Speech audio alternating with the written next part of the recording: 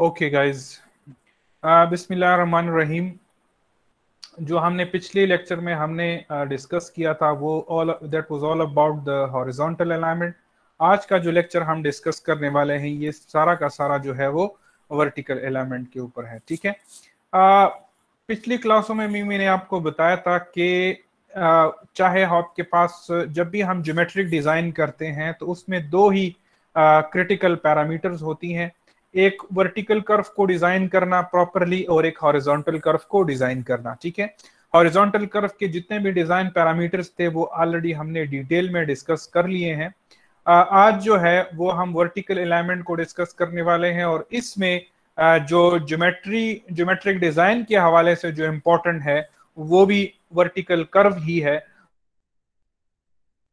कि किस तरह मुख्तलिफ़ वर्टिकल कर्व को डिज़ाइन किया जाता है, ठीक है? होता ये है कि मोस्ट ऑफ़ द टाइम आपके पास लेवल टेरेन नहीं होती, ठीक है? अगर आपके पास एक लेवल टेरेन तो आपको वर्टिकल कर्व की ज़रूरत नहीं पड़ती। लेकिन अगर आपके पास टेरेन लेवल नहीं है, यानी माउंटेनियस टेरेन है, जिसमें अप द हिल आप जा रहे हैं या डाउन द हिल आ रहे हैं, ठीक है? या फिर आपके पास एक ऐसा टेरेन है जिसको कम कहते हैं रोलिंग टेरेन रोलिंग टेरेन से क्या मुराद है? रोलिंग टेरेन का मतलब ये है कि uh, at certain section of the road there is uphill and certain section of the road there is downhill. तो जब आपके पास अप हिल डाउन हिल और और और लेवल टेरेन इसका एक मिक्स्ड अलाइनमेंट हो तो उसको फिर हम कहते हैं रोलिंग टेरेन तो चाहे आपके पास रोलिंग टेरेन हो या आपके पास जो है वो माउंटेनियस टेरेन हो दोनों की केस में फिर वर्टिकल अलाइनमेंट जो है उसको उसको प्रॉपर डिज़ाइन की ज़रूरत होती है और उसमें different type of vertical curves होती हैं, उसकी प्रॉपर डिज़ाइन की ज़रूरत होती है। जब भी हम वर्टिकल अलाइनमेंट बनाते हैं तो उसमें हमारे पास मुख्तलिफ़ किस्म की एलिवेशन होती है। डिफरेंट पॉइंट्स की एलिवेशन होती हैं। उन डिफरेंट पॉइंट्स की एलिवेशन को जब हम मिलाते हैं प्रॉपरली तो वो हमारे पास जो एक वर्टिकल कर्व की शक्ल में आपके पास आ जाता है। अब ये जो डिफरेंट पॉइंट्स हैं आपके पास उन डिफरेंट पॉइंट्स की जो एलिवेशन हैं उनका एक एक्सेप्टेबल लेवल है। आ, एक खास एक्सेप्टेबल लेवल हमें चाहिए होता है ऐसा नहीं है। लेट सपोज़ जिस अगर आप माउंटेनियस टेरेन में रोड बना रहे हैं ठीक है? If you are making road in a mountainous terrain तो माउंटेनियस टेरेन का एक खास नेचुरल स्लोप होगा। लेट सपोज़ ये एक माउंटेनियस टेरेन है। इसका एक खास नेचुरल स्लोप है। अब इस, हम ये नहीं करते कि इसी नेचुरल स्लोप को मेंटेन रखते हुए इसके इसके ऊपर हम क्या करें? रोड बनाएँ। सिमिलरली ये भी उसका एक डाउन ग्रेड नेचुरल स्लोप है। इसी नेचुरल स्लोप को मेंटेन रखते हुए हम रोड बनाएँ। उससे नुकसान क्या होगा? कभी कभार वो जो नेचुरल स्लोप है, वो उसकी एक्सेप्टेबल लेवल नहीं होता। मतलब ड्राइवर या राइड के हवाले से या ड्राइविंग के हवाले से वो उसकी स्लोप या स्टीपनेस इतनी ज़्यादा होती है कि जिस डिजायर्ड स्पीड पे हम ट्रेवल करना चाहते हैं, वो डिजायर्ड स्पीड हम इसी नेचुरल स्लोप को मेंटेन रखते हुए हम ट्रेवल नहीं कर सकते। तो हम क्या करते हैं, हम एक तो इनके नेचुरल स्लोप की एलिवेशन पॉइंट्स होती है, एक हम उस एक्सेप्टेबल लेवल के लिए डिफरेंट पॉइंट्स बना लेते, मालूम कर लेते हैं। समझ आ रही है? फॉर एग्ज़ाम्पल ये एक वर्टिकल कर्व इसके बीच में आ रहा है, ठीक है? तो हम क्या कर लेते हैं? इन इस वर्टिकल कर्व इस इस एक एक्सेप्टेबल लेवल अचीव करने के लिए ऐसा वर्टिकल ग्रेडियंट हम अचीव करें ताकि हमें जो डिजायर्ड स्पीड चाहिए, उस डिजायर्ड स्पीड को मेंटेन रखते हुए इस वर्टिकल कर्व के ऊपर गाड़ियाँ ट्रेवल कर सकें।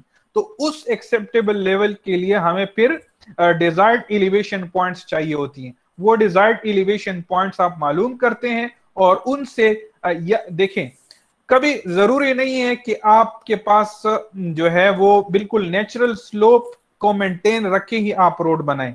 हमेशा जो है मोस्ट ऑफ़ द केसेस में या तो आप कटिंग करोगे, जब आप क्रेस्ट वर्टिकल कर्व बनाओगे, या अगर आपके पास इस तरह की खाई है, और इसमें आप ये तो नहीं कर सकते कि पहले आप इसकी, इसी नेचुरल स्लोप को मेंटेन रखते हुए इसके ऊपर रोड बनाए। दैट वुड बी अनसेफ तो आप क्या करते हैं? एक एक एक स्मूथ ट्रांजिशन के लिए इस तरह का एक सैग वर्टिकल कर्व उसमें बना लेते हैं। तो यहाँ पे आपके क्या करना होगा? You have to fill the material into this portion यहाँ पे आपको ये पहाड़ी का जो पोर्शन है, उसकी कटिंग करनी होगी।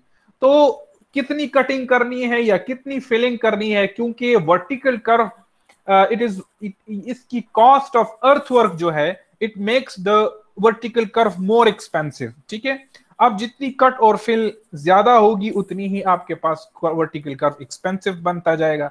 अब इस वजह से हम एक एक्सेप्टेबल पॉइंट्स निकालते हैं एक्सेप्टेबल लेवल ऑफ़ एलिवेशन निकालते हैं, ताकि अगर हमें कटिंग करनी पड़ रही हो या हमें फिलिंग करनी पड़ रही हो, वो इतनी हो कि उससे हमारी कॉस्ट जो है, वो हमें वो हमें वो राइड परफॉर्मेंस भी मिल जाए हमें वो डिजायर्ड या डिज़ाइन स्पीड भी मिल जाए उस उस कर्व के लिए और हमें हमें जो है वो कॉस्ट भी एक हद से ना बढ़े। समझ आ रही है आपको?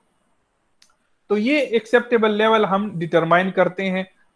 इसमें हम जो एक्सेप्टेबल लेवल होता है ड्राइवर सेफ्टी के लिए हवाले से है ड्राइवर कंफर्ट के हवाले से ड्रेनेज के हवाले से भी हम निकालते हैं डिफरेंट पैरामीटर्स वो आगे हम, आगे क्लास में डिस्कस करते, करेंगे।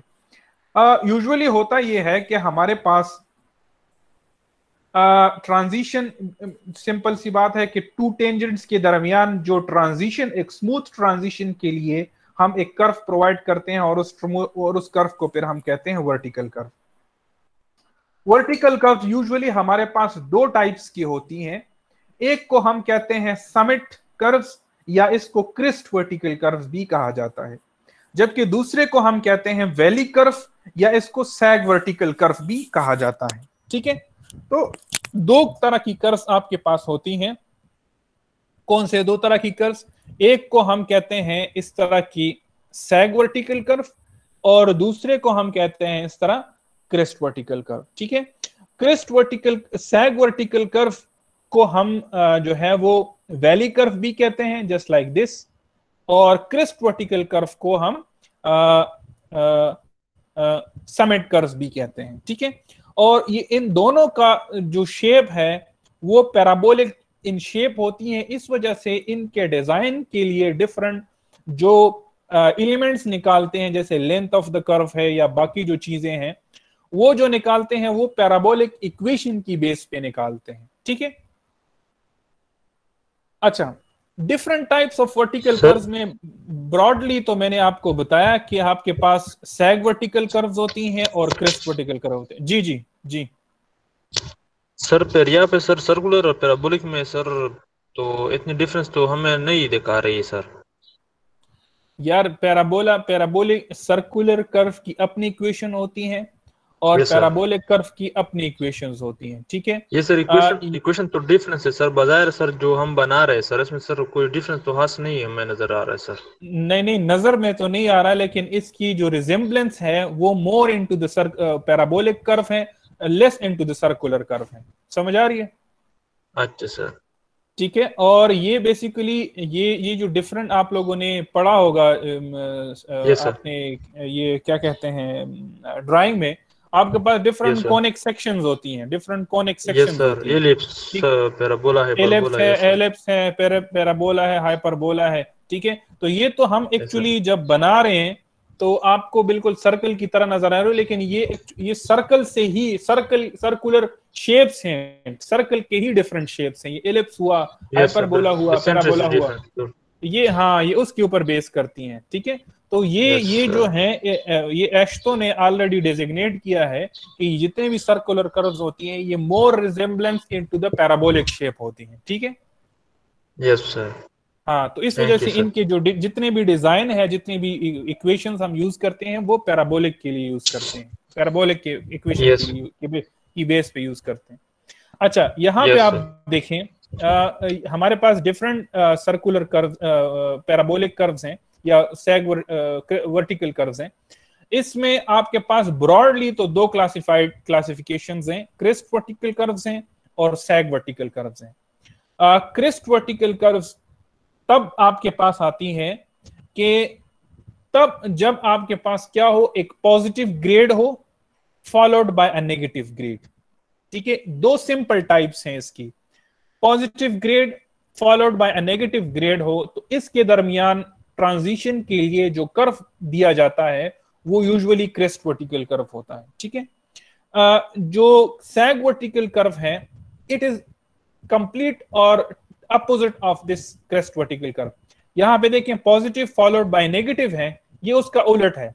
नेगेटिव फॉलोड बाय पॉजिटिव तो जब नेगेटिव ग्रेड हो फॉलोड बाय पॉजिटिव ग्रेड हो, उसके दरमियान जो कर्व बनेगा that would be sag vertical curve अच्छा इसके अलावा फर्दर भी कुछ टाइप्स हैं, और उससे उससे भी आप जो है वो डिफरेंट टाइप्स ऑफ़ कर्व्स बनेंगे। सिर्फ़ ये दो सिंपल टाइप्स आपके पास नहीं होंगी। दो ऐसे कर्व्स भी दो दो ऐसे ग्रेड्स भी हो सकते हैं, जब, जो कि दोनों पॉजिटिव हों। जस्ट लाइक दिस देखें पॉजिटिव ग्रेड है, और followed by another positive grade उसके दरमियान भी जो कर्व बन रहा है, वो भी क्रिस्ट वर्टिकल कर्व बन रहा है।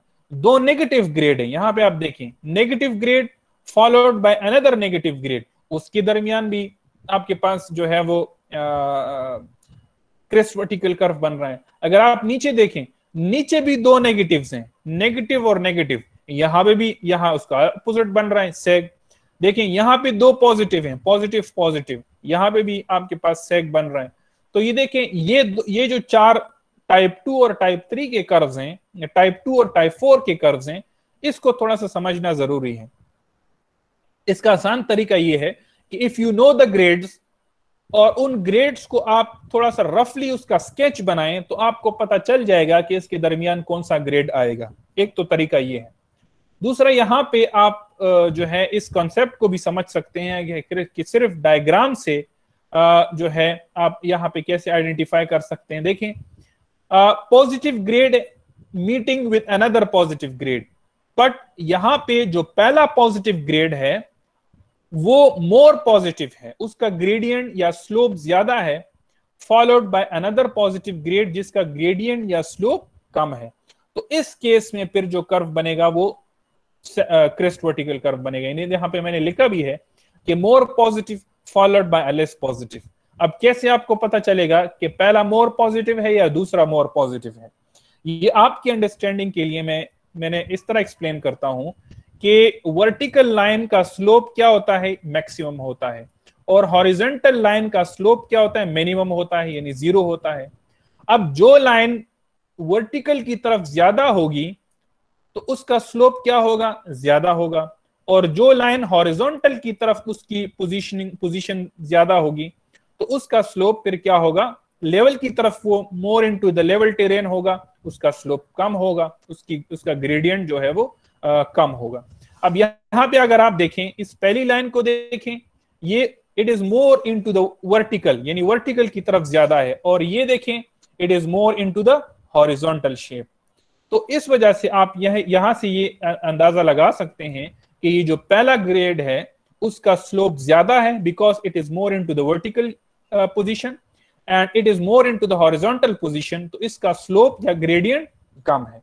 ठीक है? तो इससे आप यहाँ पे अंदाज़ा लगा सकते हैं। यहाँ पे आप देखें, दो नेगेटिव ग्रेड्स भी जब आपस में मीट कर रही हैं तो तब भी आपके पास सैग क्रिस्ट वर्टिकल कर्व बनेगा। कैसे?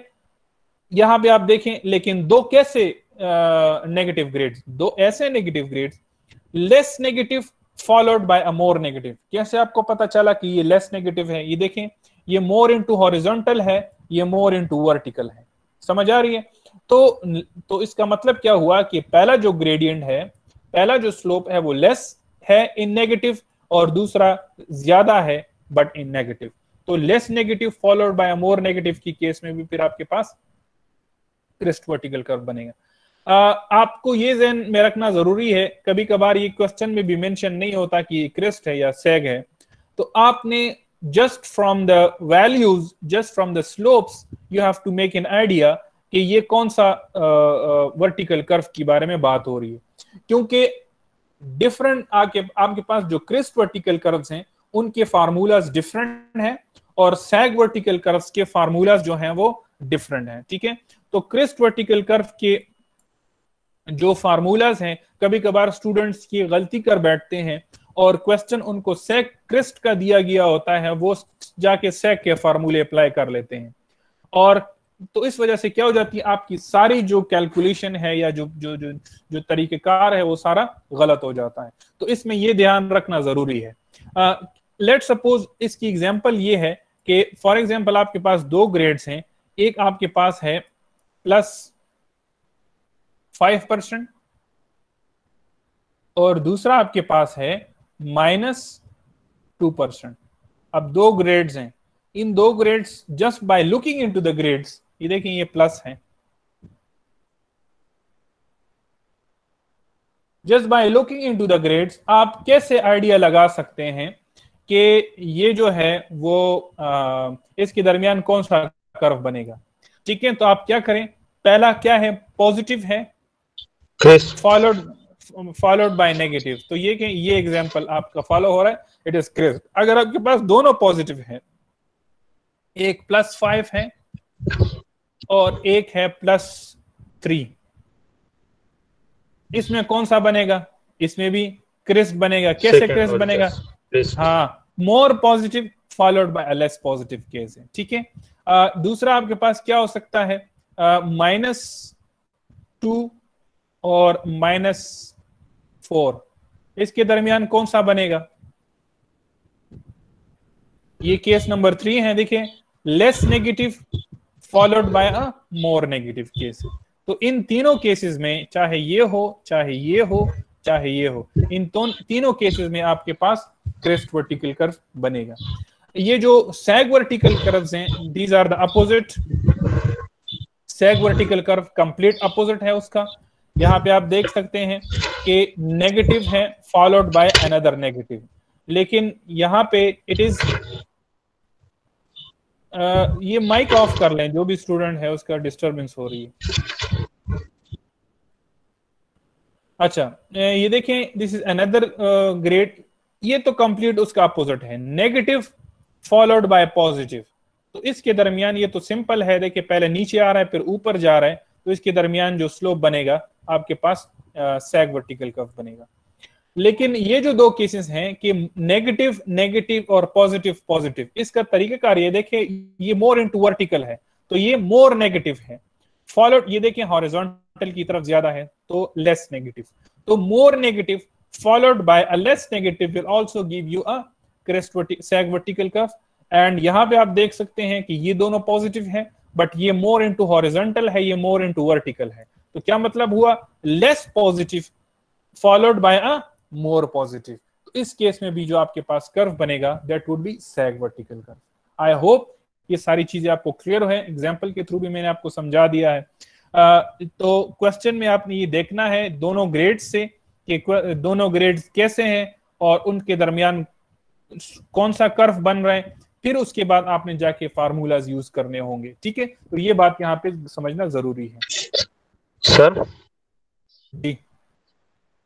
सर ये ऊपर सर जो क्रेस्ट वाली है सर इसमें सर ऐसा हो सकता है कि पहले सर कम पॉजिटिव हो फिर सेकंड केस में ज़्यादा पॉजिटिव हो जाएगी। मुझे बताओ क्या फॉर एग्जांपल पहले कम पॉजिटिव प्लस थ्री ये sir plus three and then plus five plus five तो क्या बनेगा इसका? देखें प्लस थ्री है तो ये ऊपर जा रहा है और प्लस फाइव है तो ये मोर ऊपर जा रहा है ठीक है? तो इस केस में क्या बनेगा आपके पास? ये तो शेप से भी पता सेक बनेगा सेक इसके दरमियान सेक बनेगा ठीक है? Yes, आसान तरीका आसान तरीका ये है कि उस उ, उसका स्केच ड्रॉ करें।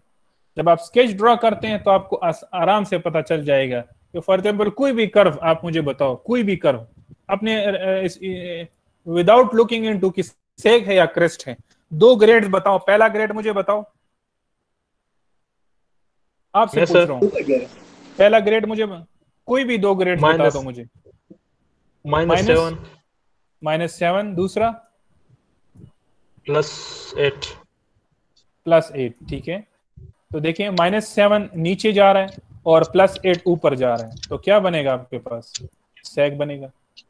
यस सर ठीक है तो जो भी ग्रेड्स आपके पास गिवन होंगी उन ग्रेड्स को एक रफ स्केच उसका ड्रॉ करें। यू विल अंडरस्टैंड कि भाई इसके दरमियान सेक बन रहा है या क्रेस बन रहा है। आसान तरीका उसका यही है ठीक है? बिल्कुल सर। ओके आगे बढ़ते हैं। This is typical layout of vertical curve ठीक है? uh, इस यूजुअली हमारे पास जितने भी कर्व्स होती हैं इसको हम इसका इसको हम इक्वल टेंजेंट वर्टिकल कर्व्स भी कहते हैं। इक्वल टेंजेंट का मतलब ये है कि जो कर्व लेंथ है, उसका हाफ़ ऑफ़ द लेंथ एक साइड ऑफ़ द कर्व पे होता है और हाफ़ ऑफ़ द लेंथ दूसरे साइड ऑफ़ द कर्व पे होता है मेजोरिटी ऑफ़ द केसेस में, ठीक है? अच्छा इसमें क्या क्या पॉइंट्स हैं आपके पास? इसमें देखें जी वन आपके पास पहला स्लोप है, पहला ग्रेडियंट है जी टू आपके पास दूसरा ग्रेडियंट है। बीवीसी क्या है? बीवीसी को हम कहते हैं beginning of the vertical curve जहाँ से आपका वर्टिकल कर्व स्टार्ट हो रहा है, ठीक है? जो एंड पॉइंट होता है, जहाँ पे आपका वर्टिकल कर्व खत्म हो रहा होता है इसको नाम दिया गया है EVC which is the end of the vertical curve ठीक है? यहाँ पे आप बीच में देखें विच इज़ पीवीआई पीवीआई का मतलब है पॉइंट ऑफ़ वर्टिकल इंटरसेक्शन यानी जहाँ पे दो टेंजेंट्स आपस में मीट कर रही हैं। टेंजेंट ये देखें पॉइंट बीवीसी से लेकर ईवीसी के दरमियान जो डिस्टेंस होता है we call it the length of the curve और टेंजेंट लेंथ किसके बराबर होता है? Half of the length of the curve यानी एल बाय टू एक टेंजेंट के बराबर होता है और half of the length of the curve L by two दूसरे side of the tangent length के बराबर होता है। ठीक है? इसमें एक्सटर्नल ऑर्डिनेट क्या है? पॉइंट ऑफ़ वर्टिकल इंटरसेक्शन और centre of the middle of the curve के दरमियान जो डिस्टेंस होता है we call it external ordinate ठीक है? इसमें जो एक और बहुत इंपॉर्टेंट एलिमेंट है वो है ये वाई इस वाई को समझना ज़रूरी है क्योंकि इसी वाई से फिर हम आ, हमारे पास यूजुअली क्या होता है? हमारे पास इस तरह का एक पहाड़ बना होता है। समझ आ रही है? इस पहाड़ के ऊपर जितने भी पॉइंट्स हैं चाहे ये पॉइंट है आपके पास चाहे ये पॉइंट है आपके पास डिफरेंट पॉइंट्स है। आप लोगों ने सर्वे कैम्प किया है कि नहीं किया है? मुझे ये बताएँ। सर हमने नहीं किया है सर। नहीं सर तो, लेकिन वर्टिकल कर्व पड़ा है सर थोड़ा थोड़ा। अच्छा वर्टिकल कर्व पड़ा है। तो सर्वे कैम्प में क्या होता हो, होता है कि जब भी आप पहाड़ के ऊपर क्या करते हैं पहाड़ तो आपके पास नेचुरल टेरेन गेवन होता है। तो नेचुरल टेरेन के हर एक पॉइंट का आप रिड्यूस लेवल फाइंड कर सकते हैं। जैसे ये पहाड़ी के ऊपर डिफरेंट पॉइंट्स है। इन इसके ऊपर आप टेडोलाइट की मदद से और टोटल स्टेशन की मदद से या फिर लेवल की मदद से क्या कर सकते हैं? डिफरेंट पॉइंट्स के रिड्यूस लेवल्स आप मालूम कर सकते हैं। रिड्यूस लेवल क्या होता है? मीन सी लेवल से उस पॉइंट की, इस पॉइंट की एलिवेशन क्या है? इसको हम कहते हैं रिड्यूस लेवल ठीक है? यानी फॉर एग्जांपल ये मीन सी लेवल है। उससे ये पॉइंट कितना ऊँचा है? ये पॉइंट कितना ऊँचा है? ये पॉइंट कितना ऊँचा है? तो डिफरेंट पॉइंट्स की जो एलिवेशन है, वो आप, उसको हम कहते हैं रिड्यूस्ड लेवल ये ज़रूरी नहीं है कि मीन सी लेवल हो, कोई और रेफरेंस पॉइंट भी हो सकता है, लेकिन एक्चुअली जो है, अगर आपने ट्रू रिड्यूस लेवल फाइंड करना हो तो वो मीन सी लेवल से ही होता है। हमें ये तो मिल जाता है, लेकिन जब हम कर्व बनाते हैं तो कर्व क्या करते हैं? कर्व इन दो के दरमियान इस तरह का कर्व होता है। तो हमें पहाड़ी का नहीं चाहिए होता, हमें इस कर्व के ऊपर डिफरेंट पॉइंट्स की एलिवेशन चाहिए होती है। समझ आ रही है आपको? हम चूँकि बनाना तो हमने कर्व है तो तो जो जो माउंटेन है या जो नेचुरल टेरेन है उसके रिड्यूस लेवल से आवाज़ नहीं आ रही सर क्यों नहीं आ रही? है मुझे तो आ, सब किसी को भी नहीं आ रही है सिर्फ़ आपको नहीं आ रही? क्लियर है सर क्लियर है सर क्लियर है तुम्हारे साथ नेट में मसला होगा। क्लियर है सर क्लियर है। उसका नेट का इशू अच्छा। नहीं उसके नेट का इशू ठीक है। ठीक है। देखें, हमें, हम क्या करते हैं, हम एक्चुअली तो बनाते कर्व है ना। तो कर्व बनाने के लिए मुझे ये जो कर्व के ऊपर जो पॉइंट्स हैं, उनके, उन उन तमाम पॉइंट्स के रिड्यूस लेवल चाहिए होंगे, ताकि अगर उन तमाम पॉइंट्स के रिड्यूस लेवल हमें मिल जाएँ तो फिर क्या कर लेते हैं, उन तमाम पॉइंट्स को मिला के हम वर्टिकल कर्व बना लेते हैं। ठीक है? अब इन पॉइंट्स के रिड्यूस लेवल के लिए मुझे क्या चाहिए होगा? मुझे जब ये रिड्यूस लेवल चाहिए तो इस पॉइंट के रिड्यूस लेवल से इस पॉइंट के रिड्यूस लेवल तक पहुँचने के लिए मुझे एक वर्टिकल ऑफसेट चाहिए होगा वाई इसको कहते हैं वाई अब ये वर्टिकल ऑफसेट निकाले जाते हैं डिफरेंट इंटरवल्स पे और उसी वर्टिकल ऑफसेट से फिर जाके नेचुरल स्लोप यानी नेचुरल रिड्यूस लेवल से कर्व के रिड्यूस लेवल के पॉइंट्स हमें मिल जाते हैं। यानी इस रिड्यूस लेवल इस पॉइंट से, इस रिड्यूस लेवल से अगर आप वाई सब्ट्रैक्ट कर लेते हैं तो बाय डिफ़ॉल्ट आपके पास वो रिड्यूस लेवल मिल जाएगा, जो कि कर्व के पॉइंट का रिड्यूस लेवल है। I hope this is clear तो ये वाई समझना ज़रूरी है, ठीक है? इस वाई को हम कहते हैं वर्टिकल ऑफसेट ठीक है? और इसी वर्टिकल ऑफसेट की मदद से कर्व के पॉइंट्स हम मालूम कर लेते हैं। कर्व के रिड्यूस लेवल हम मालूम कर लेते हैं, ठीक है? इससे और इन चीज़ भी आपके पास क्लियर होगी एंड दैट वुड बी कि कितने अमाउंट ऑफ़ एरिया कटिंग में आएगा और कितना अगर आपके पास सेग वर्टिकल कर्व है तो कितने अमाउंट ऑफ़ एरिया आपके पास फिलिंग के लिए रिक्वायर्ड होगा। कितनी कटिंग करेंगे आप और कितनी फिलिंग रिक्वायर्ड होगी।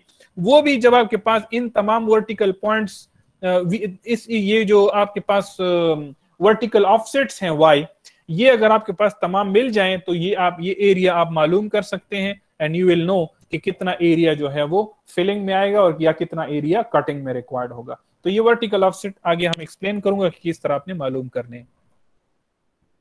ये ऑलरेडी मैं एक्सप्लेन कर चुका हूँ ऑलरेडी कि ये जितने भी हमारे पास कर्व्स होती हैं, इसको हम कहते हैं equal tangent vertical curves equal tangent इस क्यों कहते हैं? क्योंकि यानी एक half of half of the length एक टेंजेंट के बराबर होता है और हाफ़ ऑफ़ द लेंथ जो है वो दूसरे टेंजेंट के बराबर होता है।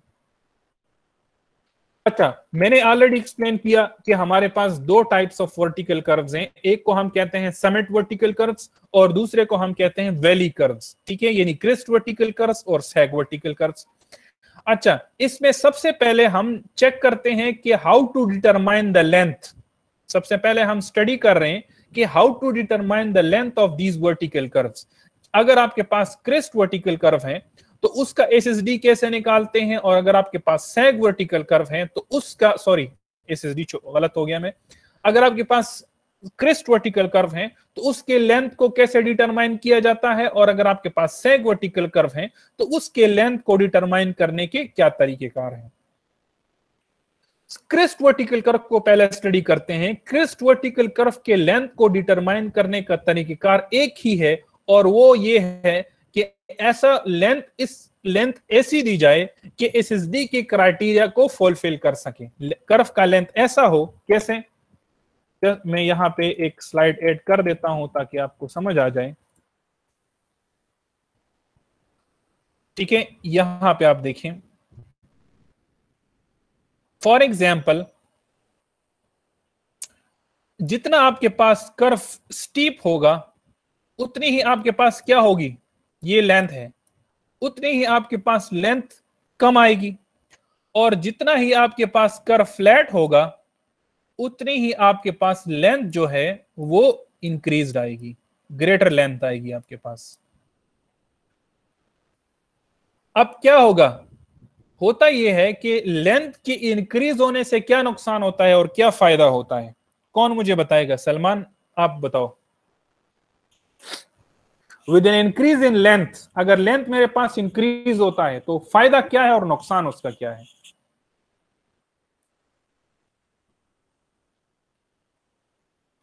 मैं पूछना ये चाह रहा हूँ कि ये जो लेंथ जो ये सर फ़ायदा ये सर डिज़ाइन स्पीड ज़्यादा बरकरार रख सकते हैं सर नुकसान ये है कि सर ज़्यादा एक्सकेवेशन हाँ बिल्कुल बिल्कुल आपकी आपकी आवाज़ कट जी।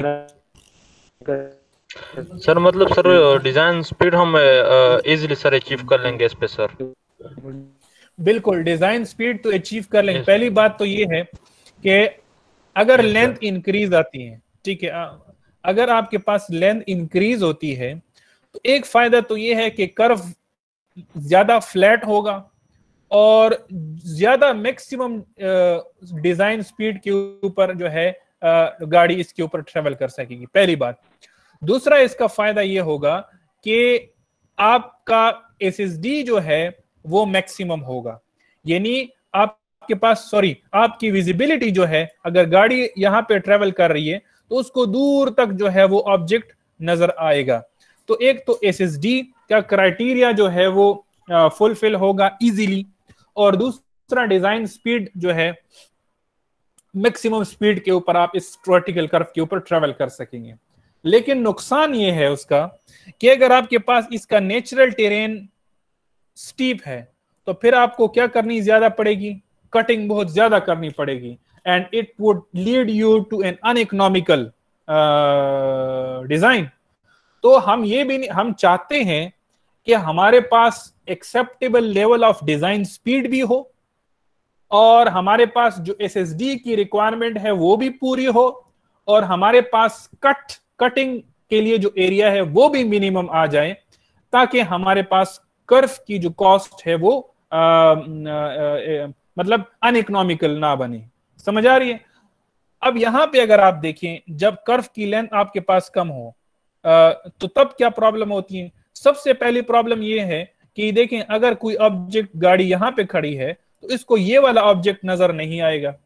क्योंकि उसकी विजिबिलिटी ऑब्स्ट्रक्ट हो रही है। तो सबसे पहले तो ये अनसेफ हो जाएगा, क्योंकि एसएसडी का क्राइटेरिया फुलफिल नहीं हो रहा। सही है? दूसरा स्टीप भी बहुत ज़्यादा है तो आपके पास कॉस्ट तो कम है, क्योंकि कटिंग आप कम कर रहे हैं। लेकिन आपके पास ना as per the design speed इसके ऊपर गाड़ियाँ मूव कर सक रही है, और ना एसएसडी का क्राइटेरिया फुलफिल हो रहा है।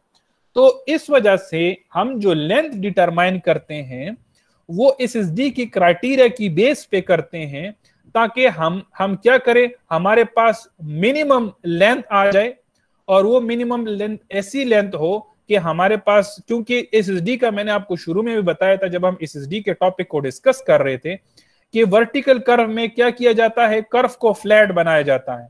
जितना कर्व को फ्लैट बनाएँगे, तब आपके पास एसडी का क्राइटेरिया बेहतर तरीके से फुलफिल होगा। विजिबिलिटी ग्रेटर आएगी। ठीक है, लेकिन इतना भी फ्लैट तो नहीं बना सकते, क्योंकि फिर कॉस्ट पड़ेगी। तो लेंथ बेसिकली डिटरमाइन की जाती है बेस्ड अपॉन द एस का क्राइटेरिया ताकि हमारे पास मिनिमम विजिबिलिटी भी पूरी हो as per the design speed और हमारे पास कॉस्ट भी जो है वो कम आ जाए। तो इन शॉर्ट जो है, जब हम लेंथ डिटरमाइन करते हैं तो जो क्रिस्ट वर्टिकल कर्व के लिए लेंथ डिटरमाइन की जाती है, उसमें सिर्फ़ एक ही क्राइटेरिया को को की बेस पे लेंथ डिटरमाइन की जाती है and that is the SSD criteria ठीक है? आ, बाकी जो नीचे सैग वर्टिकल तो डिज़ाइन स्पीड पर हम कंप्रोमाइज नहीं कर रहे सर वो तो फिर ट्रांजिशन तो नहीं होगा ना यार खुदा के बंदे नहीं नहीं नहीं डिज़ाइन स्पीड पे कंप्रोमाइज नहीं हो रहा जो एसएसडी के लिए लेन निकालते हैं तो एसएसडी में आप एसएसडी का फार्मूला पढ़े उसमें स्पीड का फार्मूला नहीं है। समझ आ रही एसएसडी के फार्मूले में स्पीड है। ना? तो वहाँ पे स्पीड ऑलरेडी जो एसएसडी की वैल्यू आती है वो ऑलरेडी उसमें स्पीड इनकॉर्पोरेटेड है। ठीक है? तो स्पीड आपने वहाँ पे इनकॉर्पोरेट किया, उस स्पीड उस स्पीड की बेस पे आपने एसएसडी निकाला, उसी, इस एसएसडी की बेस पे भी आप लेंथ निकाल लेते हैं। तो दोनों चीज़ें इनकॉर्पोरेट हो गई ना। क्लियर होगी बात? अच्छा ये जो सैग वर्टिकल कर्व है सैग वर्टिकल कर्व में ये चार क्राइटेरिया देखे जाते हैं। इन चारों क्राइटेरिया के ऊपर लेंथ डिटरमाइन किया जाता है और इनमें फिर जो मैक्सिमम लेंथ आपके पास वैल्यू आती है वही आप फिर फाइनली यूज़ करते हैं। ये जब हम सेग वर्टिकल कर डिस्कस करेंगे, ये उस टाइम पे मैं आपको बताऊँगा कि ये क्या उसका तरीकेकार है। आज की क्लास में सिर्फ़ हम क्रेस्ट वर्टिकल कर्व को डिस्कस कर रहे हैं। अच्छा यहाँ पे आप देखें, ये इस इमेज से भी आपको पता चल रहा है कि देखें it is a crest vertical curve और इस क्रिस्ट वर्टिकल कर्व में रोड के उस साइड पे अगर कोई ऑब्जेक्ट पड़ा है तो वो आपको नज़र नहीं आ रहा। अब ज़रूरी नहीं है कि वो रोड क्या, उस साइड का पूरा ऑब्जेक्ट आपको नज़र आ जाए, लेकिन एसएसडी के लिए जो लेंथ रिक्वायर्ड है एटलीस्ट उतना एरिया आपके पास विजिबल होना चाहिए, ठीक है? अच्छा जब हम लेंथ डिटरमाइन करते हैं तो लेंथ डिटरमाइन करने के दो तरीके कार हैं, ठीक है? एक कंडीशन तो ये है कि एसएसडी यानी स्टॉपिंग साइड डिस्टेंस जो है, वो ग्रेटर है than the length of the vertical curve और दूसरा कंडीशन ये हो सकता है कि जो स्टॉपिंग साइड डिस्टेंस है, वो लेस हो than the length of the vertical curve और एक कंडीशन ये है कि एस एस डी ग्रेटर हो than the length of the vertical curve इसका क्या मतलब है? इसका मतलब ये है कि आपके पास दो कंडीशन पॉसिबिलिटी है। एक जो एस एस डी के लिए लेंथ है फॉर एग्ज़ाम्पल ये लेंथ है ऑफ़ द वर्टिकल कर्व और एसएसडी आपने जब कैलकुलेट की तो एसएसडी के लिए जो लेंथ रिक्वायर्ड है, वो सिर्फ़ इतना लेंथ रिक्वायर्ड है। ठीक है? इसको हमने नाम दिया एस तो ये कौन सा कंडीशन हुआ? एक कंडीशन ऐसा हो सकता है, जिसमें एसएसडी की वैल्यू कम हो और लेंथ ऑफ़ द कर्व की वैल्यू ज़्यादा हो। तो उसका अपना तरीकेकार है उस डिज़ाइन का। और एक कंडीशन ऐसा हो सकता है कि इसमें लेंथ ऑफ़ द कर्व कम हो और एसएसडी के लिए आपके पास लेंथ की एसएसडी के लिए जो विजिबिलिटी की रिक्वायरमेंट है, वो ज़्यादा हो। वो लाइक फॉर एग्जांपल आपकी स्पीड की रिक्वायरमेंट ज़्यादा है तो तब स्पीड की रिक्वायरमेंट के लिए तो एसएसडी की रिक्वायरमेंट बढ़ेगी। तो एस डी यहाँ पे जो लेंथ ऑफ़ द कर्व है, वो कम है और एसएसडी जो है, वो ज़्यादा रिक्वायर्ड है। इस केस में भी आप देख सकते हैं length is less and SSD is greater कुछ कर्ज ऐसे आपके पास हो सकते हैं। कुछ कर्ज ऐसे आपके पास हो सकते हैं जिसमें एस एस डी कम हो और लेंथ आपके पास ज़्यादा हो। अब इन दोनों कंडीशंस के लिए आपके पास डिफरेंट फार्मूलाज हैं। लेकिन अब जब हम एक, एक नया कर्व डिज़ाइन कर रहे हैं तो मुझे तो पता नहीं है कि यार मैंने तो कर्व डिज़ाइन ही नहीं नहीं की हुई मैं तो लेंथ अभी डिटरमाइन कर रहा हूँ तो मुझे पहले से कैसे पता कि भाई लेंथ ज़्यादा आएगी कि एस ज़्यादा आएगी? चलो एसएसडी तो मैं निकाल लूँगा। लेकिन लेंथ तो मैंने निकाला नहीं है। तो मुझे कैसे पता चलेगा कि जो कर्व मैं डिज़ाइन कर रहा हूँ ये कौन से कंडीशन के लिए डिज़ाइन कर रहा हूँ? इस पहले कंडीशन के लिए बेस, बेस पे डिज़ाइन कर रहा हूँ या इस दूसरे कंडीशन की बेस पे डिज़ाइन कर रहा हूँ? तो इसका अपना तरीकेकार है वो आगे मैं एक्सप्लेन करूँगा कि उसका तरीकेकार क्या है। ये देखें ये दो फार्मूलाज हैं मैं चलो मैं इस स्लाइड से आगे थोड़ा मूव करता हूँ इस स्लाइड की तरफ़। ये देखें एक फार्मूला आपके पास ये है for S S D less than the length of the vertical curve और दूसरा फार्मूला आपके पास ये है for S S D greater than the length of the vertical curve अगर आपके पास स्पीड और एस एस डी जो है वो फीट में है और स्पीड आपके पास माइल में है तो तब तो इस कंडीशन के लिए ये फार्मूला यूज़ होगा। लेकिन अगर आपके पास स्पीड जो है, वो किलोमीटर पर आवर में है, और जो एस एस डी वगैरह है, वो मीटर में है तो तब आपने ये दूसरा फार्मूला यूज़ करना होगा ये। क्लियर है? Similarly S S D less than the length greater than the length of the vertical curve के लिए एक ये फार्मूला है और एक ये फार्मूला है।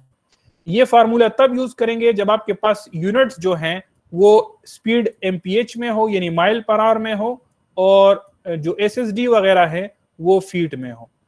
ठीक है? यहाँ पे जो है, वो एस एस डी मीटर में होगी और स्पीड जो है, वो किलोमीटर पर आवर में क्लियर है? अब इन दोनों में फ़र्क इतना नहीं है। फार्मूला सेम है, सिर्फ़ इस डिनोमिनेटर का फ़र्क है। यहाँ पे 2158 है और यहाँ पे 658 है। इसमें भी इतना फ़र्क नहीं है। यहाँ पे 2158 है और फार्मूला यहाँ पे 658 है। दोनों formula one in the same है। ठीक है? अच्छा अब मुझे कैसे पता चलेगा भाई कि मैं क्राइटेरिया वन की तरफ़ जाऊँ या क्राइटेरिया टू की तरफ़ जाऊँ? ठीक है तो मैं क्या करूँगा? पहले इस क्राइटेरिया को यूज़ करूँगा। सर जी। सर इसमें ए क्या चीज़? है अभी हाँ हाँ अभी फार्मूले को चले फार्मूले को हाँ हाँ डिस्कस करते हैं डिस्कस करते हैं। देखिए फार्मूले में क्या क्या चीज़ें आपके पास गिवन है? फार्मूले में आपके पास गिवन है ए एस एस डी और ट्वेंटी बाकी तो ये तो डिनोमिनेटर में तो नंबर है ठीक है? इसमें भी ए और एस एस डी आपके पास गिवन है। अच्छा एस डी तो ऑलरेडी आपके पास क्लियर है कि अगर आपके पास माइल्स में है तो वो 1.47 वाला फार्मूला आप यूज़ करोगे। और अगर आपके पास मीटर में है तो वो 0.278 वाला जो फार्मूला है, वो आप यूज़ करोगे। क्लियर है? अब आते हैं ए की तरफ़। व्हाट इज़ ए ए को हम कहते हैं it is the algebraic difference between the grades ये देखें ए ए क्या है? Algebraic difference in the grades अब अल्जब्रिक डिफरेंस का क्या मतलब है? अल्जब्रिक डिफरेंस का मतलब ये है कि फॉर एग्जांपल आपके पास दो ग्रेड्स हैं जी वन वो है आपके पास प्लस क्रिस्ट वर्टिकल कर्व हम बना रहे हैं तो क्रिस्ट वर्टिकल कर्व की केस में प्लस फोर और जी टू आपके पास क्या है? माइनस टू ठीक है? तो इसकी केस में देखिए प्लस फोर माइनस टू ये जो कर्व आपके पास बनेगा वो क्रिस्ट वर्टिकल कर्व बनेगा। अब ए ए ए आपके पास क्या है? A is the algebraic difference between two the grade between both the grades लेकिन एब्सोल्यूट डिफरेंस होगा। तो ए आपके पास बराबर है ए आपके पास बराबर है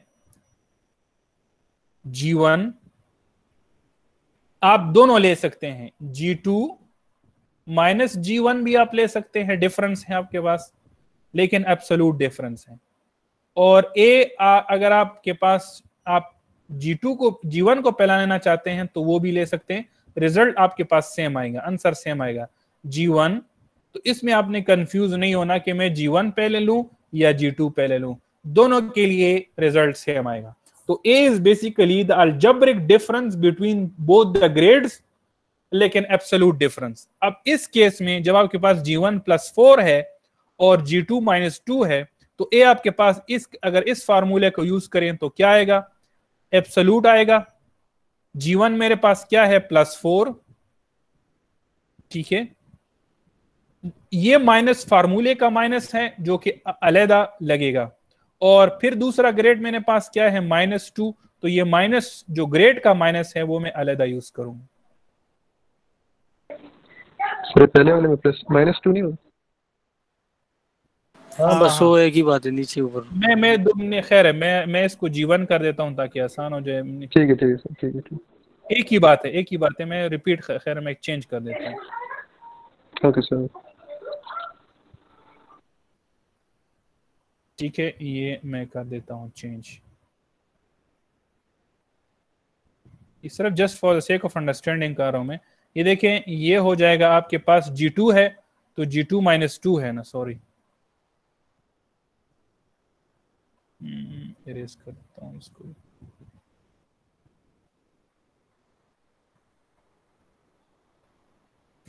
अच्छा अब आते हैं डी G2 मेरे पास क्या है माइनस टू तो ये मैं माइनस माइनस टू लिख दिया।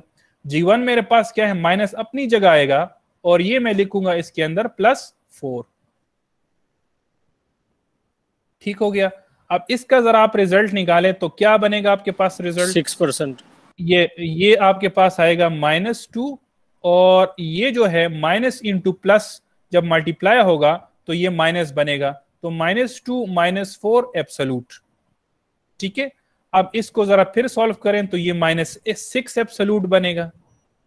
ठीक है? अगर आप इसको एब्सोलूट से बाहर निकालें तो एब्सोलूट से जब आप बाहर निकालते हैं तो अंदर चाहे माइनस हो या प्लस हो, बाहर रिज़ल्ट आपके पास प्लस बनेगा। तो ए आप यूज़ करोगे सिक्स समझ आ गई?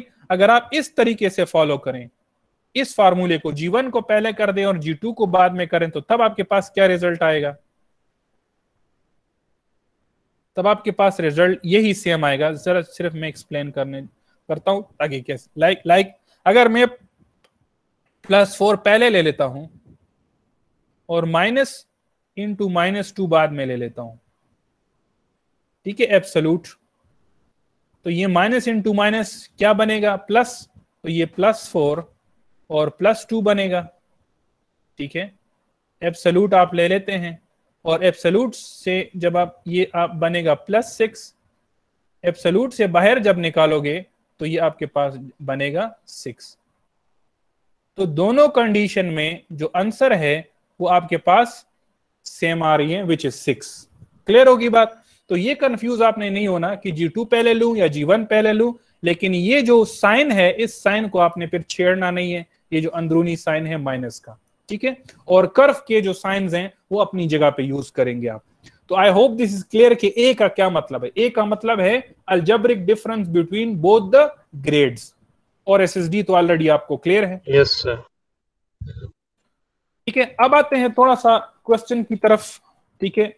अच्छा क्वेश्चन पे जाने से पहले आ, आ, मुझे अगर लेट सपोज़ नहीं पता कि मैं इस कंडीशन के ऊपर क्वेश्चन को सॉल्व करूँगा या इस कंडीशन के ऊपर क्वेश्चन को सॉल्व करूँगा तो उसका तरीकेकार ये है ये एक्चुअल फ़ील्ड में भी ऐसा ही होता है कि आपने करना ये है कि आपने इस कंडीशन के ऊपर भी लेंथ डिटरमाइन करनी है और इस कंडीशन के ऊपर भी लेंथ डिटरमाइन करनी है। जब आपके पास कंडीशन और रिज़ल्ट दोनों मैच हो रहा हो तो तब आपने उस कंडीशन के मुताबिक लेंथ को फाइनल कंसिडर करना है। कैसे? लेट सपोज़ यहाँ पे मैं एक स्लाइड एड कर देता हूँ ताकि आपको फर्दर समझ आ जाए। लेट सपोज़ मैंने क्या किया? आ, मैंने मैंने एस एस कैलकुलेट किया ठीक है? और एस एस डी की वैल्यू मेरे पास आ गई है फॉर एग्ज़ाम्पल 650 फीट मेरे पास आ गई है एसएसडी की वैल्यू क्लियर है? अब मैं क्या करूँगा? इस एसएसडी के ऊपर पहले कंडीशन जो मेरे पास है, वो ये है कि S S D greater than the length of the curve और दूसरा कंडीशन मेरे पास है S S D less than the length of the curve तो इस कंडीशन के मुताबिक और इस कंडीशन के मुताबिक दोनों की बेस पे मैं लेंथ डिटरमाइन करूँगा। दोनों फार्मूले को यूज़ करूँगा। ठीक है? पहले कंडीशन के मुताबिक मैंने लेंथ डिटरमाइन किया। और वो मेरे पास आ गया। सेवन नाइन्टी फीट लेंथ इस फार्मूले के मुताबिक मेरे पास आ गई सेवन नाइन्टी फीट और इस फार्मूले के मुताबिक मेरे पास आ गई है सेवन, थर्टी फीट ठीक है? अब जरा देखिए। दो लेंथ मेरे पास आ गई हैं। एक लेंथ है 790 फीट और दूसरे कंडीशन के मुताबिक लेंथ जो है वो 730 फीट है। अब कौन सा जो है वो मैं यूज़ करूँगा फॉर लेंथ उसका तरीका ये है कि ये कंडीशन मुझे कहता है कि इसमें एसएसडी जो है, वो ज़्यादा होगा और लेंथ जो है, वो कम होगा।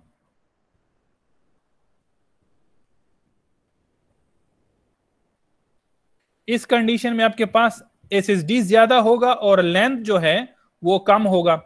लेकिन रिज़ल्ट क्या कहता है? रिज़ल्ट क्या ये कहता है कि S S D six fifty है, कम है और लेंथ जो है, वो ज़्यादा है। तो मतलब कंडीशन और रिज़ल्ट आपस में मैच नहीं हो रही। अगर आप इधर आ जाएँ तो एस एस डी तो वही सेम है, वो तो चेंज नहीं होगा। लेंथ आपने डिटरमाइन की है, वो है सेवन थर्टी कंडीशन मुझे कहता है कि एस एस डी कम होगा और लेंथ जो है वो ज़्यादा होगा। लेकिन रिज़ल्ट क्या कहता है? रिज़ल्ट भी यही कहता है कि लेंथ ग्रेटर है और एस एस डी कम है। तो कंडीशन और रिज़ल्ट कौन से के लिए मैच हो रही है? इस कंडीशन के ऊपर मैच हो रही है। तो आपके पास जो लेंथ आपने यूज़ करना है ये जो लेंथ है ये आपने यूज़ करना होगा and that would be the corrected final length for as per the S S D criteria clear होगी बात? आपने क्या करना होगा? दोनों कंडीशन के मुताबिक लेंथ डिटरमाइन करनी है। जी जी बोले। सर अगर हमारे पास दोनों कंडीशंस दोनों कंडीशंस में रिज़ल्ट नहीं मतलब दो, दोनों कंडीशन सेटिस्फाई नहीं हो सकती at the same time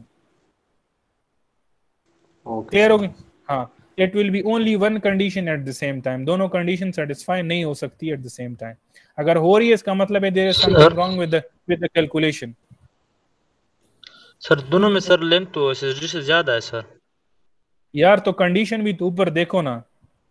condition क्या कहता है? कंडीशन दाविज ये कहता है कि एसएसडी ज़्यादा होना चाहिए. इसमें कहता है एसएसडी ज़्यादा होना चाहिए. लेकिन एसएसडी तो कम है. तो इसका मतलब ये है कि कंडीशन हाँ। और रिज़ल्ट मैच नहीं हो रही। उल्टा है सर।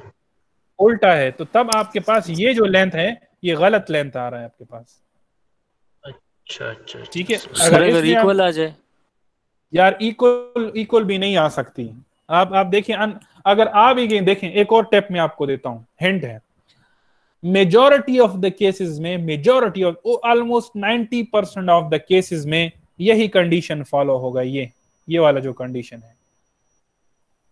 यानी हमेशा मोस्ट ऑफ़ द केसेस में एस एस डी कम होता है और लेंथ आपके पास क्या होती है? ज़्यादा होती है।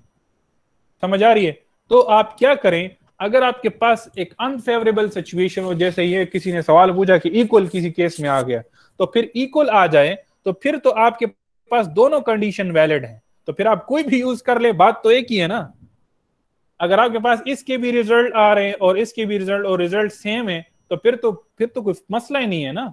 फिर तो लेंथ लेंथ की वैल्यू आपके पास सेम है। इससे भी आ गई सेवन थर्टी और इससे भी आप सेवन थर्टी आ गई। फिर तो टेंशन की बात ही नहीं है फिर तो आप कोई भी यूज़ कर ले बात तो एक ही हुई। ठीक है? लेकिन मेजोरिटी ऑफ़ द केसेस में आपके पास यही कंडीशन फॉलो होगा। ये जो एसएसडी कम होगी जिसमें और लेंथ आपके पास ज़्यादा होगा। क्लियर होगी बात? अब आते हैं इस न्यूमेरिकल की तरफ़, लेकिन इस न्यूमेरिकल में जरा इसको पढ़ते हैं और फिर इसको जो है वो देखें इसमें आपको एक कंडीशन गिवन है।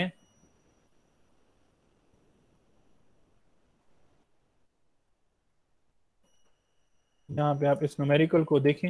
ये देखें कंडीशन ऑलरेडी इसमें गिवन है आपको, ये। लेकिन ये कंडीशन मैं इसमें से रिमूव कर रहा हूँ। ताकि आपको और पिक्चर क्लियर हो जाए कि क्वेश्चन एक्चुअली सॉल्व कैसे करते हैं। सर जब हम ग्रेड निकालेंगे सर उसकी वैल्यू सर फॉर्मूले में पॉइंट ज़ीरो वन के पुट करेंगे या परसेंटेज में सर पुट कर लेंगे सर क्या? सर ग्रेड अलजेब्रिक डिफरेंस जो है ए नहीं वो वो एक्चुअल परसेंट में हमेशा परसेंट में होती है। नहीं नहीं ये हमने एक्चुअल पुट करना होगा अभी मैं एक्सप्लेन करता हूँ अभी सॉल्व करते हैं ना, खैर। देखें क्वेश्चन यहाँ पे बहुत आसान आपको दिया गया था। आपको दो चीज़ें, आपको ये भी बताया गया है कि ये क्रेस्ट वर्टिकल कर्व है। तो जब आपको ये भी बता दें कि ये क्रेस्ट वर्टिकल कर्व है तो आपके लिए तो फार्मूला आइडेंटिफाई करना भी आसान हो गया। और आपको यहाँ पे जो मैंने कंडीशन डिलीट की थी, वो भी आपको गिवन थी। तो जब आपको दोनों चीज़ें आपके पास अवेलेबल हो तो फिर तो प्रॉब्लम ही कोई नहीं है। तो मैं कंडीशन को थोड़ा सा आपके लिए मुश्किल बना देता हूँ, ताकि आपको और डिटेल में समझ आ जाए। ठीक है, इसको भी मैं हाईलाइट कर, ठीक है? यहाँ पे आप देखें a vertical curve is to be design अभी आप देखें, मुझे नहीं पता, ये वर्टिकल कर्व तो है, लेकिन क्रिस्ट है या सेग है तो आई डोंट नो कि भाई ये क्रिस्ट वर्टिकल कर्व है, सिर्फ़ उन्होंने मेंशन है कि वर्टिकल कर्व तो आपने इन परसेंटेज ऑफ़ द ग्रेड से पता चलाना होगा कि ये क्रेस्ट वर्टिकल कर्व है या सेग वर्टिकल कर्व है। पहली बात, ठीक है? At a selection of a two lane highway two lane highway आपको section of a two lane highway है जो कि डिज़ाइन हो रहा है। Determine the minimum length of the vertical curve आपने लेंथ जो है वो डिटरमाइन करना है। If the design speed of the highway is 60 miles per hour अगर आपके पास डिज़ाइन स्पीड जो है वो 60 एमपीएच है और परसेप्शन रिएक्शन टाइम जो है वो 2.5 सेकंड का है। अब इस कंडीशन के लिए क्या करना होगा? You have to determine the length अब पहली बात तो ये है कि ये लेंथ फार्मू लेंथ के दो फार्मूलाज हैं ये देखें। एक माइल्स पर आवर वाले फार्मूला है और एक किलोमीटर वाला, पर आवर वाले फार्मूलाज है। मैं क्वेश्चन को देखूँगा। क्वेश्चन में मुझे जो स्पीड दी गई है वो माइल्स पर आवर के लिए दी गई है। ठीक है, यहाँ पे आप देख सकते हैं 60 माइल्स पर आवर तो आपने फार्मूला कौन से यूज़ करने हैं? फार्मूला ये दो यूज़ करने हैं।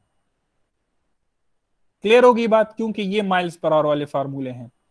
मुझे पहला फार्मूला पहले कंडीशन की तरफ़ जाते हैं, क्योंकि मुझे कंडीशन भी नहीं given S S D less than का वाला कंडीशन है S S D greater than वाला कंडीशन है।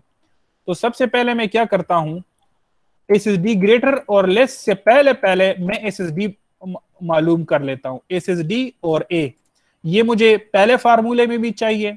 एस एस डी और ए मुझे दोनों दोनों फार्मूलाज में चाहिए। तो सबसे पहले तो मुझे मैं ए कैलकुलेट करता हूँ। ए मेरे पास क्या आएगी? ए की वैल्यू पहला ग्रेड मेरे पास क्या है? प्लस थ्री और दूसरा ग्रेड मेरे पास वन नहीं आएगा भाई सबर करो। ठीक है? यही तो गलती कर बैठते हैं स्टूडेंट्स और फिर जाके कहते हैं सर मेरा तो क्वेश्चन गया। ठीक है? तो पहला ग्रेड लेट सपोज़ मैंने प्लस थ्री लिया माइनस इंटू माइनस टू ठीक है? अब वासिद जैसा बंदा जब वन ले लेगा तो क्वेश्चन तो गया ना।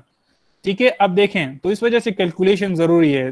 जंप नहीं करना just by looking into the grades अब माइनस इंटू माइनस करेंगे तो ये प्लस हो जाएगा तो ये प्लस थ्री और प्लस टू हो जाएगा। ठीक है? इसको एब्सोल्यूट से बाहर निकालें तो आपके पास, आपके ए की वैल्यू क्या आएगी? फाइव क्लियर होगी? जिसको समझ नहीं आई, वो मेरे से पूछ सकता है। This is how you determine कि किस तरह आपके पास एस एस डी की वैल्यू आएगी। सॉरी ए की वैल्यू आएगी। दूसरी जो चीज़ मुझे चाहिए, वो है एस ठीक है? तो एस के लिए मैं क्या करूँगा? फार्मूला यूज़ करूँगा that is 1.47 point four seven V into T क्योंकि माइल वाला फार्मूला यूज़ करूँगा four seven V into T ठीक है प्लस वी आई स्क्वेयर बल्कि डायरेक्ट ही मैं वी स्क्वेयर यूज़ करूँगा, क्योंकि वी एफ़ तो ज़ीरो है divide by thirty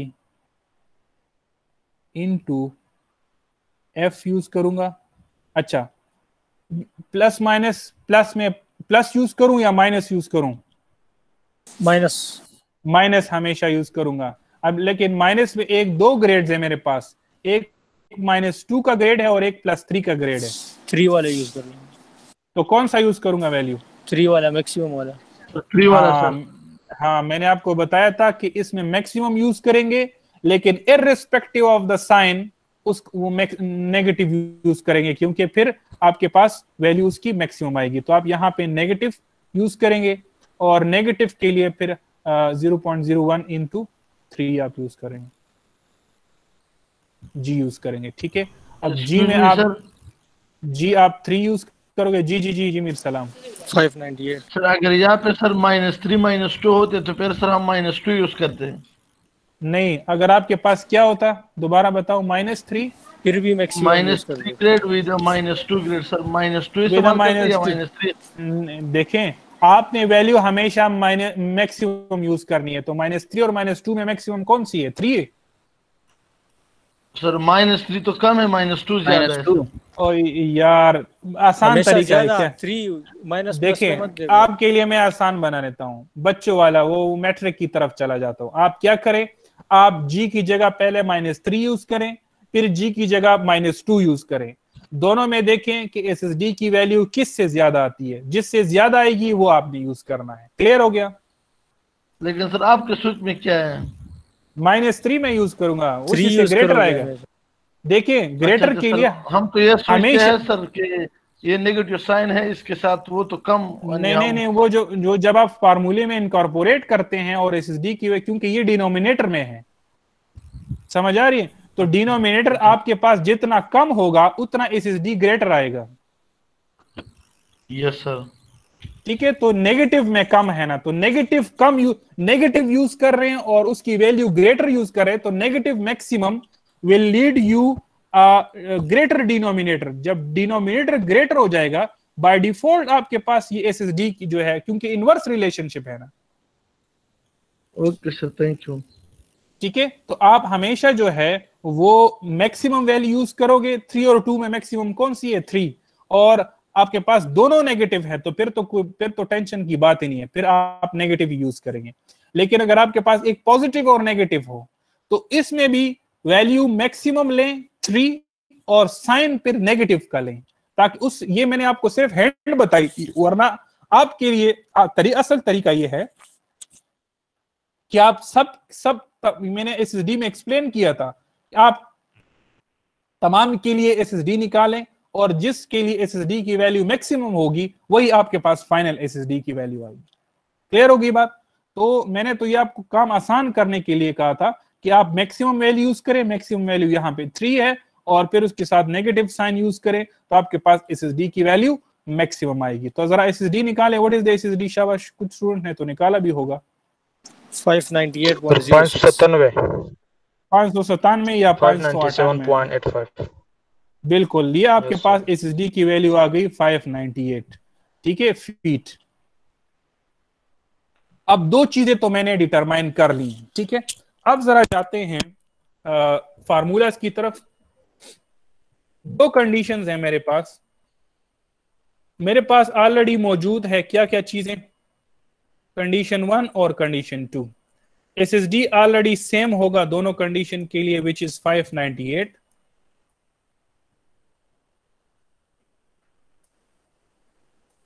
फीट और जो ग्रेड है ए अल्जेब्रिक डिफरेंस वो भी सेम है दोनों के लिए विच इज़ फाइव आप मैं पहले कंडीशन की तरफ़ जाता हूँ which is in which S S D is less than the length of the vertical curve एक कंडीशन है मेरे पास। और दूसरा क्या है? S S D is greater than the length of the vertical curve तो जरा इसके मुताबिक निकालें। इसका फार्मूला क्या है? A into S S D square divide by twenty one fifty eight इसका फार्मूला क्या है? A into S S D square divided by twenty one sir S से आ रहा है आठ सौ अट्ठाईस पॉइंट वन थ्री गुड शाबाश इससे मैंने कैलकुलेट किया लेंथ और मेरे पास जो लेंथ आ गई है वो है आठ सौ अट्ठाईस फीट मैंने ले लेता हूँ चलो यस सर क्लियर होगी बात अब मैं इस कंडीशन की तरफ़ जाता दूसरे हूँ से सात सौ चौसठ आ रहा है बिल्कुल मैं दूसरे कंडीशन की तरफ़ इसके लिए मैं मार्कर चेंज कर लेता हूँ और अगर मैं फार्मूले की तरफ़ जाऊँ तो फार्मूले में क्या है? Two into S S D minus twenty one fifty eight divide by A formula क्या है? L is equal to two into S S D minus twenty one fifty eight divided by A clear अब इससे आपने चौसठ point one सात सौ चौसठ ठीक है? दिस इज़ सात सौ चौसठ फीट अब जरा इसको कंडी रिज़ल्ट और कंडीशन को आपस में कंपेयर करें ठीक है? अगर मैं रिज़ल्ट की तरफ़ जाऊँ तो इसमें देखिए कंडीशन मुझे कहता है कि एस एस डी कम होनी चाहिए लेंथ ज़्यादा होनी हाँ लेंथ ज़्यादा होनी चाहिए। और रिज़ल्ट क्या दे रहे हैं? रिज़ल्ट भी कह रहा है कि एसएसडी कम आ रही है और लेंथ ज़्यादा आ रही है।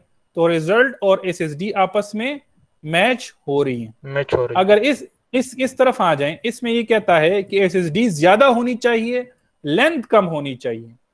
समझ आ रही है आपको? इसमें देखो एसएसडी कम आ रही है लेंथ ज़्यादा आ रही है। तो कंडीशन और रिज़ल्ट आपस में मैच नहीं हो रही। ठीक है? एस एस डी देखिए पाँच सौ अटानवे है और लेंथ सात सौ चौसठ है। तो एस एस डी कम है और लेंथ ज़्यादा है जबकि कंडीशन कहता है कि एस एस डी ग्रेटर होगा और लेंथ कम होगा। समझ आ रही है आपको कि नहीं आ रही? ठीक है? तो ये रिज़ल्ट रिज़ल्ट ये यानी पाँच सौ अटानवे और सात सौ चौसठ को देख के रिज़ल्ट और कंडीशन आपस में मैच नहीं हो रही है फॉर दिस केस ठीक है? तो इस वजह से हमारे पास जो फाइनल रिज़ल्ट होगा लेंथ वो 828 फीट हम यूज़ करेंगे and that would be the actual corrected length जो कि एसएसडी की क्राइटेरिया की बेस पे होगा। क्लियर होगी बात? तो आपने इस तरह यही इसी तरीके कार को फॉलो करना है। दोनों कंडीशन के लिए रिजल्ट्स निकालने हैं और फिर उसको कंपेयर करना है विद द कंडीशन रिजल्ट्स को। ठीक है? तो जो जब रिजल्ट्स और कंडीशन आपस में मैच हो रही है तो इसमें फिर आ, जो है वो आपने उसी फार्मूले को उसी उसी लेंथ को फिर आपने फाइनल यूज़ करना होगा। अब देखें अब अगर मैं क्वेश्चन की तरफ़ दोबारा चला जाऊँ तो क्वेश्चन में आप देखें एक मिनट क्वेश्चन में आप देखें ऑलरेडी आपको क्वेश्चन में स्टेटमेंट गिवन था देखें। और यहाँ पे मैंने कर्व भी हाईलाइट कर दिया है। देखिए अब आप देखें देखें क्वेश्चन में ऑलरेडी गिवन था कि ये कौन से कंडीशन के मुताबिक फॉलो करेंगे? S S D less than the length of the vertical का। और ऑलरेडी हमने हमने चेक भी किया कि S S D less than the length of the vertical curve से ही आपके पास रिज़ल्ट सही आ रही है। जी। सही, क्या वजह है सर कि इसमें लेंथ कम आता है सर? 764 आता है सर, जब एस एस डी ज़्यादा रिक्वायर्ड होता है। एक्चुअली ये फार्मूले ये कंडीशंस के मुताबिक ही फार्मूले डिराइव हुए हैं ना। देखें, इसमें अगर आप इस इस इस कर्व को देख लें, पिछले कंडीशन में कर्व को देखें तो इसकी जो डेरिवेशन है, वो कंप्लीटली डिफरेंट है फ्रॉम दिस डेरिवेशन तो जब फार्मूला डिफरेंट है तो डेफिनेटली रिज़ल्ट तो डिफरेंट आएगा। समझ आ रही है ना? यहाँ पे आप देखें, ये ये कंडीशन डिफरेंट है इसके इसके स्लोप्स डिफरेंट है, इसकी इसकी इसकी फार्मूलेशन डिफरेंट है और इसकी फार्मूलेशन डिफरेंट है। तो जब फार्मूलेशन डिफरेंट है, एक आप एक फार्मूला यूज़ कर रहे हैं, दूसरा आप दूसरा फार्मूला यूज़ कर रहे हैं, ठीक है? तो जब आप फार्मूला डिफरेंट यूज़ कर रहे हैं तो डेफिनेटली रिज़ल्ट तो सेम नहीं आ सकता result will always be different तो रिज़ल्ट में तो डिफरेंस इसी वजह से आ रहा है, ठीक है ना? ये तो जो मैं आपको फार्मूलाज बता रहा हूँ these are the final formulas इसकी इसकी डिटेल डेरिवेशन किताब में मौजूद है, जो किताब मैंने आपको, अगर आपके पास किताब मौजूद है, उसकी डिटेल डेरिवेशन उसमें मौजूद है। तो इसमें, इस वजह से फिर आपके पास ये देखें, इसमें एच वन और एच टू है आपके पास। यहाँ पे देखें एच वन और एच टू तो ये ये ये क्योंकि हम तो एस के क्राइटेरिया फॉलो करना चाहते हैं तो एच वन आपके पास क्या होता है? ऑब्जर्वर गाड़ी की की जो जो ड्राइवर की हाइट ऑफ़ आई साइट जो है uh, या हाइट ऑफ़ विजन जो है uh, या लाइन ऑफ़ साइट जिसको कहते हैं और ये ऑब्जेक्ट की हाइट है। समझ आ रही है? तो ये इन इन वैल्यूज़ में डिफरेंस की वजह से the got different and the answer is also uh, different है? आपने कभी इस तरह कर देखा जब एसएसडी ज़्यादा हो लेंथ कम हो सर ये तो कॉमन सेंस नहीं मानता। हाँ तो यही तो मैंने आपको बताया है यही तो मैंने आपको बताया। उस केस में हो सकता नाइन्टी परसेंट केसेस में लेंथ जो है वो ज़्यादा होगी और एसएसडी कम होगी। बहुत लेस केसेस ऐसे हैं जब आपके पास कर्व जो है आ, बहुत ज़्यादा फ्लैटनेस की तरफ़ चला जाए ठीक है? तो इसमें आपके पास क्या होता है कि एस एस डी इंक्रीज हो जाता है और लेंथ आपके पास डिक्रीज हो जाती है। लेकिन ये है कि ये उस ऐसे केसेस बहुत बहुत कम है। ठीक है? लेकिन करना आपने यही है कि आपने you have to check both the condition और फिर लेंथ जो है उसी उसी बेस पे आपने you have to find the length ये उस कंडीशन में आपके पास हो सकता है कि जब आपके पास अगर यहाँ पे आ जाए, ये it depends upon the grades ठीक है? यहाँ पे आप देखें, ये ये जी वन है, ये जी टू है। तो अगर आपके पास ये जी जी वन जो है मोर स्टीप हो जी वन ठीक है? देन द जी टू तो तब आपके पास ये कंडीशन इस कंडीशन का केस आपके पास बन सकता है। अगर आप इस डायग्राम को देखें तो इसमें जी वन देखें और इसमें जी टू देखें। तो जी वन क्या है? मोर इस जीवन कम है। जीवन की वैल्यू कम है देन द जी टू ठीक है? और ये देखें ये मोर स्टीप है। तो इस उस ऐसे कंडीशंस पर आपके पास uh, हो सकती हैं डिफरेंट सिनेरियोज की बेस पे। कि और ये डिपेंड करता है कैलकुलेशन की बेस पे। अगर आपके पास आप कैलकुलेशन निकाल लेते हैं और और आपके पास लेंथ और एस एस डी कॉन्ट्रोडिक्ट कर रही है तो फिर डेफिनेटली कंडीशन तो बन सकता है। ठीक है? लेकिन अगर आप सर ये डिज़ाइन स्पीड पे डिपेंड करेगा सर। नहीं डिज़ाइन स्पीड पे डिपेंड भी करेगा क्योंकि उसमें एसएसडी भी इन्वॉल्व है ना। तो ये डिज़ाइन स्पीड पे भी डिपेंड ज़्यादा हो सर तो फिर सर ज़्यादा स्टॉपिंग साइड डिस्टेंस रिक्वायर्ड होगी सर। हाँ बिल्कुल बिल्कुल ये भी ये भी वासिद के पॉइंट वासिद के पॉइंट ये भी क्लियर करेक्ट है क्योंकि जो एसएसडी हम निकालते हैं तो उसमें मेजर फैक्टर क्या है? आपके पास एसएसडी का ही मेजर फैक्टर है ठीक है? सॉरी डिज़ाइन स्पीड ही मेजर फैक्टर है। तो आपके पास डिज़ाइन स्पीड इंक्रीज करेंगे तो एसएसडी जो है वो बढ़ती जाएगी। लेकिन अगर आपके पास डिज़ाइन स्पीड बहुत कम हो तो कम डिज़ाइन स्पीड के लिए फिर एसएसडी रिड्यूस हो जाती है। तो एस रिड्यूस हो जाएगी और लेंथ आपके पास जो कर्व का है, वो जो जो फ़ील्ड में जो लेंथ होगी, वो कर्व की स्लोप की कम होने की वजह से फिर जो है वो आपके पास लेंथ कम ज़्यादा आएगी and S S D would be less okay I think this is clear अब अब अगर आप इफ़ यू आर कंफर्टेबल तो मैं नेक्स्ट जो सेग वर्टिकल कर्व है वो भी शुरू कर लेता हूँ। अदरवाइज़ अब हम एक क्लास अरेंज करेंगे और उसमें फिर ये सेग वर्टिकल कर्व सर खत्म हो गया क्रिस सर आज के लिए मेरे ख्याल में आज ये काफ़ी है सर आज के लिए काफ़ी सर कितने स्लाइड बाकी है सर नहीं स्लाइड तो बहुत है। स्लाइड को छोड़ें इसमें न्यूमेरिकल्स बहुत हैं। ये जो सेग वर्टिकल करते हैं। सर इनफ है सर एक एक न्यूमेरिकल पे सर अगर हम सर अगर हम आज ये कर लेंगे तो फिर नेक्स्ट क्लास अरेंज कर लेंगे? नहीं फिर अरेंज करने की ज़रूरत नहीं है लेकिन ये काम बहुत ज़्यादा है। ये ये, ये अगर आज करे भी अगर आज कर भी नमाज़ पढ़ते हैं सर। सर वेडनेसडे को हमारी एक क्लास होती है तो फिर वो अरेंज कर मैं मैं मैं मीर सलाम के साथ डिस्कस करूँगा। जब जब जो फिजिबल टाइम हुआ फिर उसमें इंशाल्लाह एक डेढ़ घंटा डेढ़ घंटा की क्लास दो घंटे की अरेंज करेंगे जिसमें ये हफ़्ते को ले सकते हैं। हफ़्ते को ले सकते हैं बिल्कुल। अगर अगर मैं फारिग हुआ तो फिर मैं इनशाला आपके साथ मैं मीर सलाम को बता दूँगा वो वो आपको इन्फॉर्म कर देगा ठीक है? Okay sir okay guys so I think this was all this was all from my side अगर